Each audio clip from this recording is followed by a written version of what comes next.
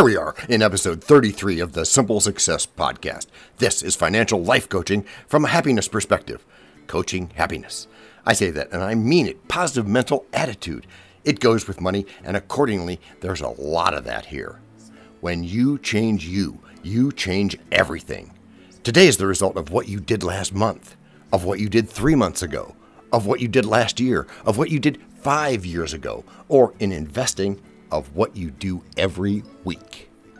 We're trying something new here in the Simple Success Pod. Simple being the operative word. I've been focused lately on making this pod simpler too. Hats off to Steve Jobs for that, among many other things.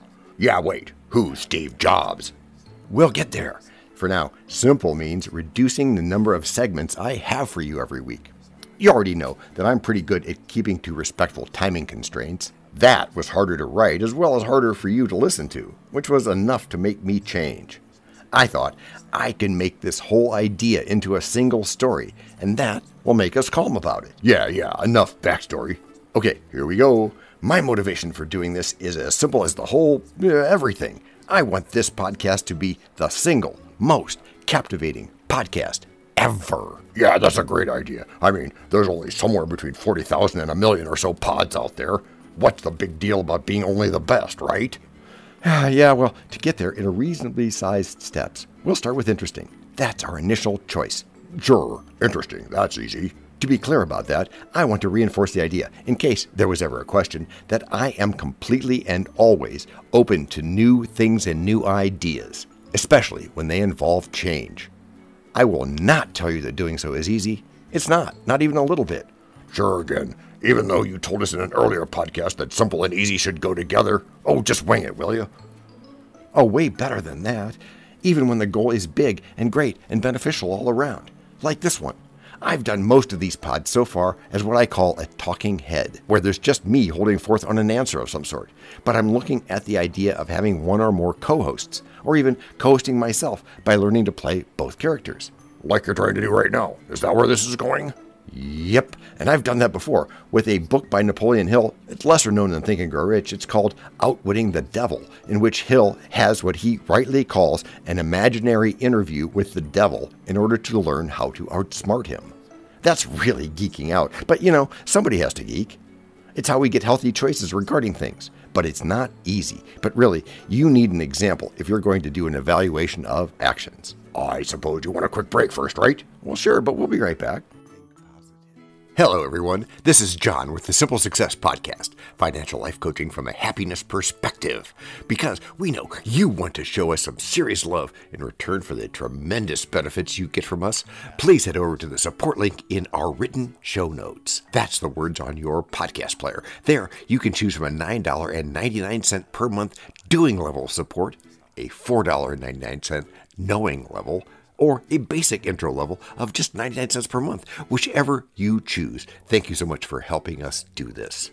To leave us a voice message which just might see the light of day in a future podcast, go to those same written show notes. You'll go to a site like VideoAsk, where you can leave a video, audio, or text only message, depending on how you feel at the moment.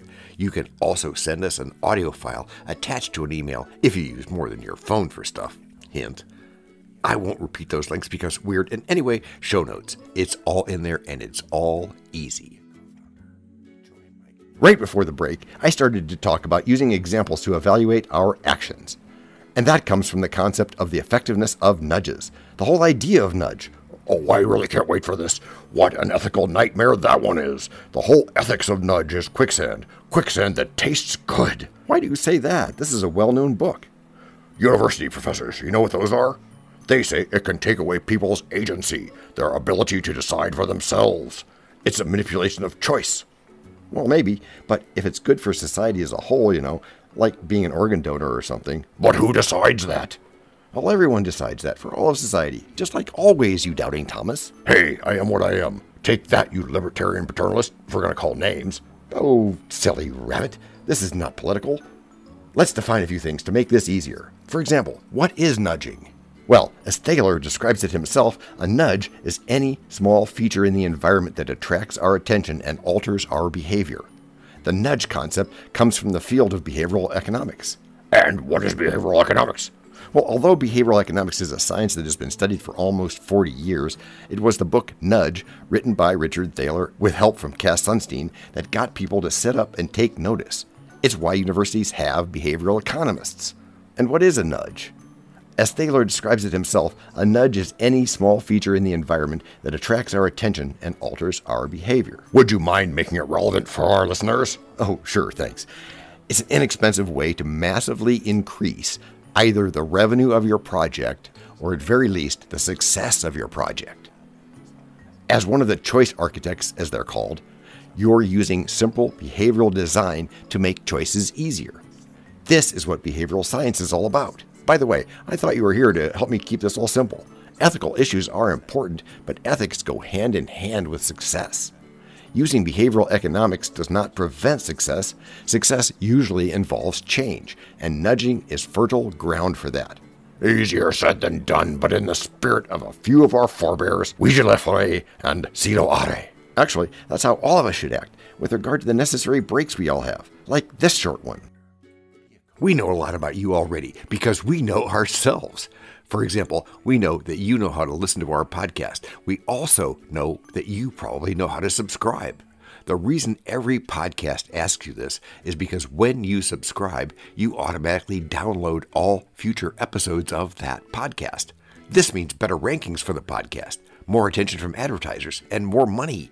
And that means more and better stuff for you. So your motivation is simple and easy. Subscribe today wherever you get your favorite podcasts. Oh, and don't just try to subscribe. There is no try, there is only do. We're changing the way we look at things, and remember, that's good. Eso es bueno. Sebo. Also, remember, this is financial life coaching from a happiness perspective. Coaching happiness. Our call to action is right in the show notes. There, you'll find a link to our upcoming webinar, which you'll also find on the website. Click now to register for a time that works best for you. So, let's get back to understanding this idea. The term itself came into use during World War II when British economist Richard Titmuss wrote his famous essay titled Why Nudge? Oh, where comes the boring details? Yeah, well, there's always a little. In it, he describes a system of programs designed to encourage people to make better choices in better choice environments without forcing them to do anything against their own wills. They get to make their choice in terms they are already familiar with.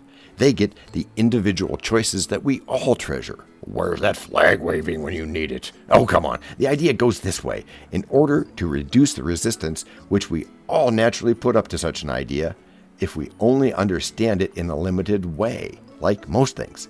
You can think of it as a moral evaluation, but it almost always heads the default options for company 401ks.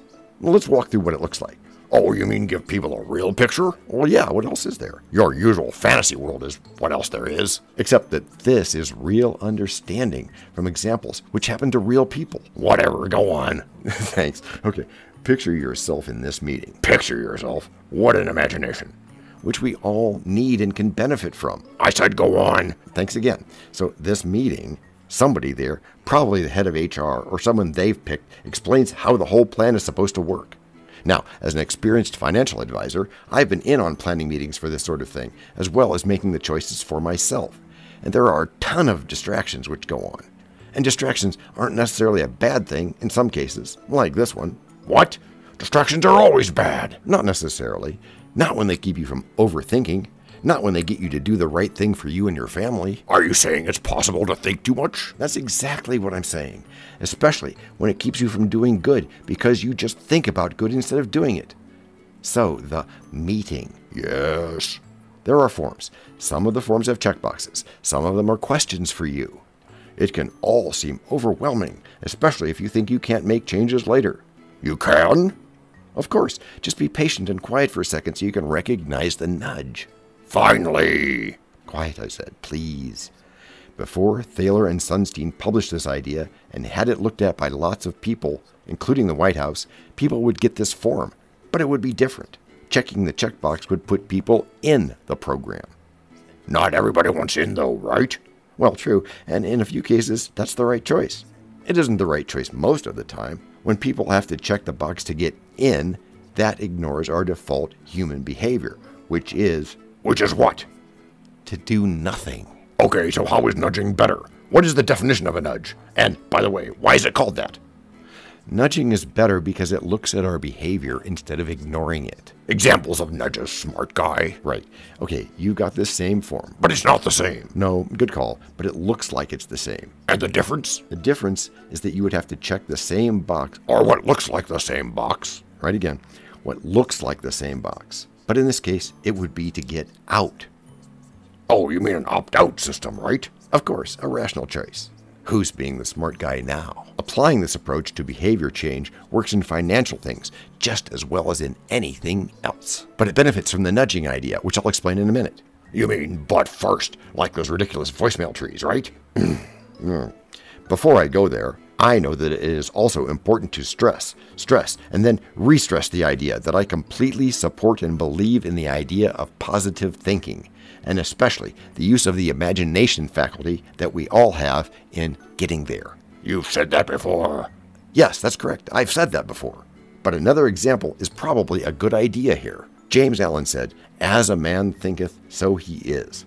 And that, of course, is paraphrased from one of the Psalms and is more than likely present in one form or another in nearly every religion. If only accurate thinking were among our most cherished public policies. The meaning of that is central. What you believe defines what you can achieve. Wait, did I just say that? Yeah, I was going to ask the same thing. And that said, I'm not ignoring the fact that we all often need a bit of help in that direction.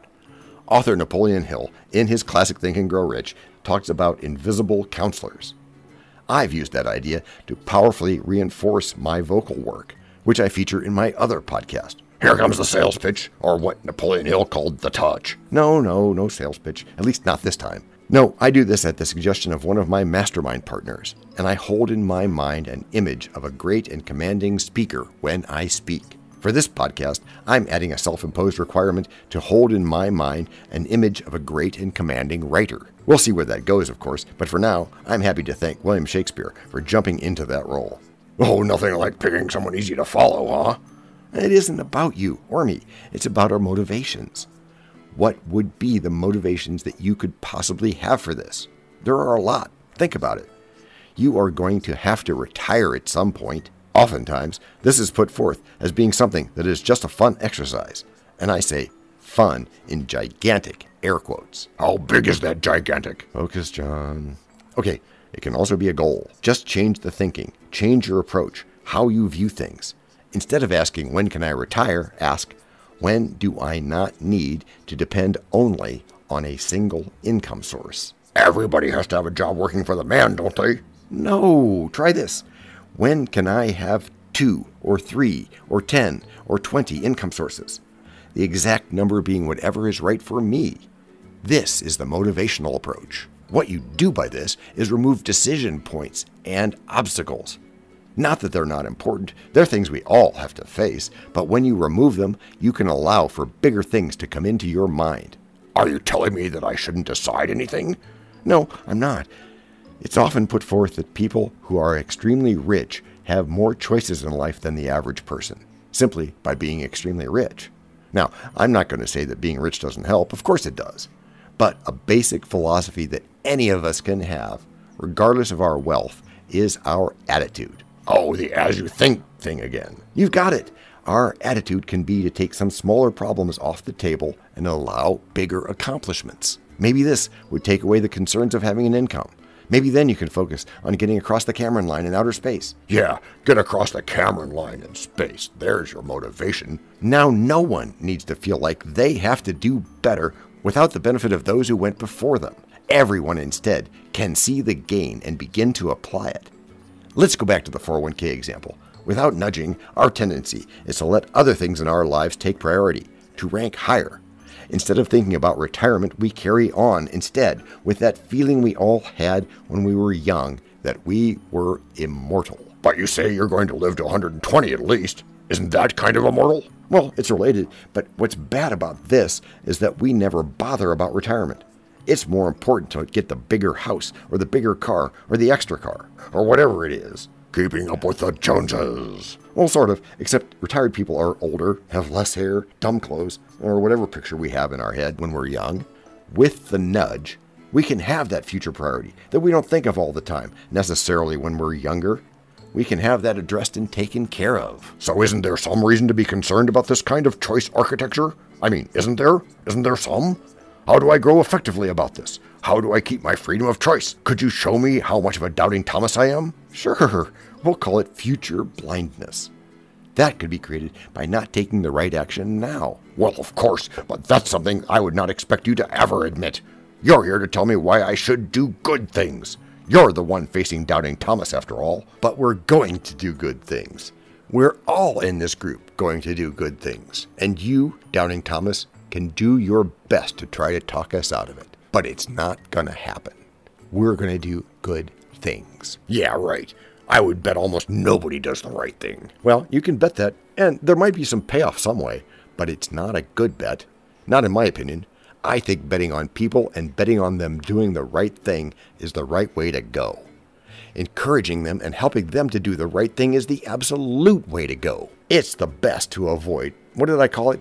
Future blindness. That's it. Anything else? Well, of course, there are always competing opportunities for everybody. I mean, think about it. What if money wasn't my thing? Well, sure, you could be more concerned about your physical fitness or your love life or your job or who knows, lots of different things. All of them are good and important. They're just different. Yeah, right. Like, like everybody wants money, right? So how is this important? To start, probably yes, and that's fine. Wanting financial success, however you define that, is a very real thing solving it with your attitude is without a doubt the most important thing that could ever happen in your life. Yeah, well, I don't know about the most important thing. That's relative. Yeah, that is important to the person that we're talking to, what a financial person would call the client. As an aside, to me, you're not a client. You're not a thing. You're a person, and you have individual important priorities. We're going to focus on catering to that while making them successful, making it all successful. Yeah, I've heard people say all kinds of stuff like that, but it's just another competing opportunity. I just know it is. We'll see. Okay, now, one of the things that people are probably interested in is whether or not there are any possibilities for disinformation or other complexities. Disinformation is anything on any topic that purports to be relevant information, but is actually attempting to get you to believe in something that you might not believe otherwise, whatever that thing is. It can be a misdirection, or it can be an outright lie. In this case, we'll say it was a lie. The lie would be that you're going to have more money taken out of your paycheck by committing to this 401k plan, for example, than you're going to reap in the long run. And it'll hurt and you won't be able to buy groceries. Yeah, and all sorts of down the rabbit hole piling on top of each other things. That's kind of what disinformation is all about. Doesn't that make it more complex? Yes, and it doesn't have to be. Now, how does this compare? Imagine having a coach who sees that you are on the verge of making something really good happen. Good for yourself, and maybe also for your team. With your consent and understanding, that coach pushes you to exceed what you previously thought you could do.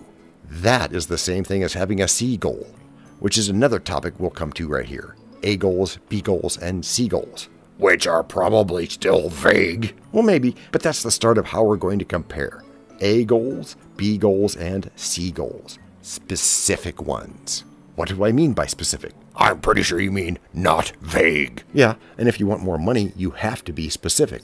I mean, more money is $1 more than you're making now, but $1 more is probably not what you have in mind. It's an improvement, but it could be better. You make it better by setting goals and setting big ones. Earl Nightingale tells us that we don't get into trouble trying to reach goals, we could do that just fine. No, we get into trouble when we do not set goals. The really cool thing is, once you're used to it, more specific is actually simpler. And as I said at the top, this podcast is getting simpler too, all thanks to you. I call on Doubting Thomas to tell you what you must remember. Remember, all you need to do is practice, after which you'll get good. Gracias por escuchar. A la prochaine. You're here in the Simple Success Podcast, where you've landed well in your search for financial life coaching from a happiness perspective. We come to you on a regular basis with podcasts, webinars, and masterclasses, together aimed at freeing you from the change that the financial industry puts on all of us. Most of us don't even know what those changes are, and in this spirit, we're not going to try to solve problems that people don't even know they have. No, instead, let's go up to common ground here. We can overcome, and we will do so. Join me for the ride of your life in a good way. This podcast and our other podcast are productions of Little Red Hen Industries. The supporting cast who helps me bake the bread includes Techno King John C. Brandy, fact checker Abraham Lincoln, French consultant Virginia Mitchell, media expert Favor Abasi Ike, psychologist Sigmund Freud, rabbit hole advisor Dr. Marg Parrott, sound designer Guglielmo Marconi, Spanish consultant Cameron J.K. Brandy, videographer Alfred Hitchcock, audio props go to Les Paul, and inspiration to Napoleon Hill, Earl Nightingale, and Bob Proctor. We also have a website, and you can subscribe to both podcasts. You can even send us a video, audio, or text message. But of course, you'll have to head to the show notes either on your phone or on the web to actually get links and stuff. I mean, I could read the URLs where you can subscribe, support, or leave one of those video or audio or text messages, but you really don't want me to do that. And those explicit clickable links are in the show notes. Finally, you can find us on Podmatch, where we consider guests as well as consider guesting on other people's pods. And really, finally, the music for our pods comes from Cute by Bensound and from Piano Background by Nick Simon Adams, both on freesound.org.